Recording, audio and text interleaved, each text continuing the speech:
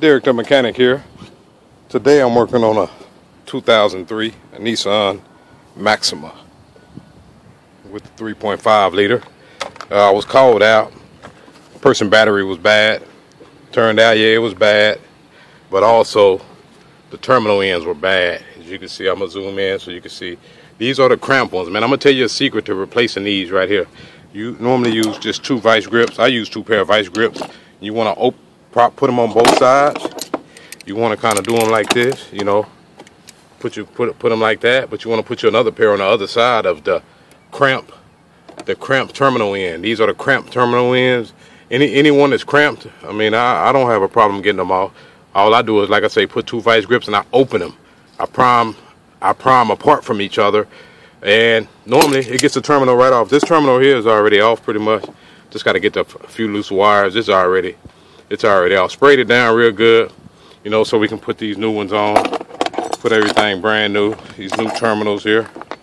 Gonna put new ones on there. Uh, you know, that's what you want to do pretty much, man. That's, you know, real easy, man. Just a pair of vice grips on both sides and go apart, you know, kind of kind of loosen them apart from each other, you know, and, you know, just cramp, cramp down away from each other on both sides of the cramp terminal in. That's it, the battery terminal in. It's a, it's a wrap on this one. And put the new battery in. There's the new battery right there. Got AutoZone got the Duralast. Wow. Pretty easy, man. That's why a lot of, and this one was, you can see all that corrosion down there. See all that? And the terminals, here's one of the terminals right here. That's how one of them looks. See, if yours look like that, they need to be replaced. You're not getting a good connection. It's, your battery didn't ate it up. You got to replace them. But call me out if you need some work. Uh, like I say, I pretty much do everything. Uh, 512-851-6165. I'm located in the Central Texas area, you know, Killeen, Copperas Cove, Temple, Belton, you know, even in Austin. I go to Austin, so, you know, you need some work done like this, man. Change your, your cable ends over, change them out. You want to change your ends out, you know, because these, these ain't easy. You got to kind of know what you're doing to get up and get them off.